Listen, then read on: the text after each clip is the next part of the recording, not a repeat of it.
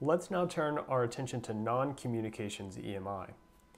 In general, we can say that our EMI is occurring when we have a transmitter that is sending a signal to a receiver, and that signal is being sent through some medium that's connecting our two components. And so I'm being kind of vague about that. We're going to come back later and list exactly how this signal can be transferred in a minute.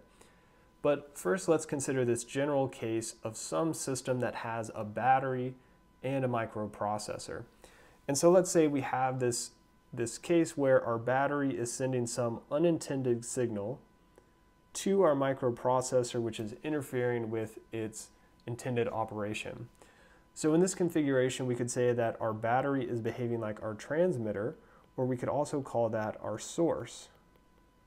So this is our source of our EMI, which is transmitting this signal to our victim of the EMI, in this case our microprocessor, which is acting like a receiver. And then of course this signal is being transferred through some medium, and we can say it's along some transfer path.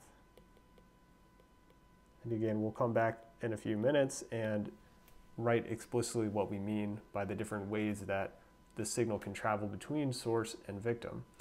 So the main difference between what we're showing here and our communications EMI is that this source and this receiver were not designed to transmit and receive respectively. So we're not designed to transmit slash receive. So basically we don't want them doing this, whereas we saw with our communications EMI, we want them to be transmitting and receiving, we just wanted to make sure they were only doing it at the frequency that we intended for. The other thing to note about this source and victim is that our source and victim are typically not optional. So most circuits are going to need a, a, some type of power supply and microprocessors are increasingly common in any type of uh, anything that's beyond sort of basic level circuitry. So our source and victim are generally not optional.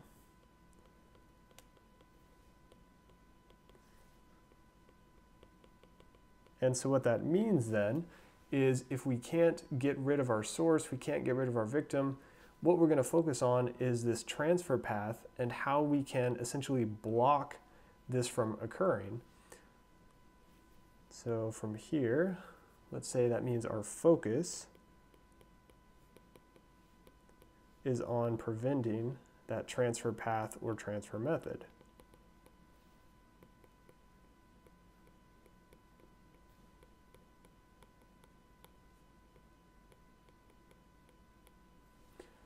And so, of course, if we're going to be looking at preventing transfer paths, we need to have a better understanding of what possible transfer paths there are. So, how is our electromagnetic energy transferred? So, it turns out there are several different ways that this can happen. The first way is by conduction.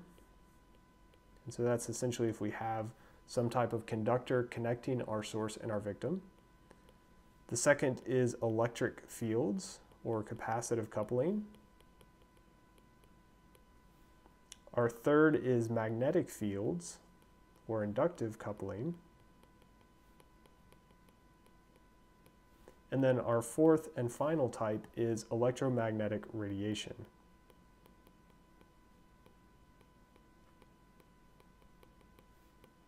And so typically what we're going to see is that one of these four is going to dominate. So as we're designing a system, we can just focus on one and we don't have to necessarily worry about all of these at any given time. So what we're going to do in the following videos is we're going to look at examples of each of these four EMI transfer paths and then after we have a good understanding of each of those, we're going to go back and we're going to talk about different ways that we can limit our electromagnetic interference.